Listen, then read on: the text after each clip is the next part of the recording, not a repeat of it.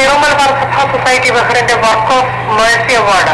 March അഞ്ചിന് വൈകുന്നേരം ഏഴ് മുപ്പതിന് മില്ലനിയം സ്കൂളിന്റെ കിങ്ഡം ഹാളിൽ വെച്ച് നടക്കും. ബഹ്റിൻ രാജകുടുംബവും സാമൂഹ്യ പ്രവർത്തകനുമായ lieutenant general retired Sheikh Duaij Khalifa bin Duaij Al ഖലീഫയ്ക്കാണ് ഈ വർഷത്തെ പുരസ്കാരം. സിറോ മലബാർ സഭയുടെ തലവൻ കർദിനാൾ മാർ ജോർജ് ആലഞ്ചേരി പുരസ്കാരങ്ങൾ വിതരണം ചെയ്യും.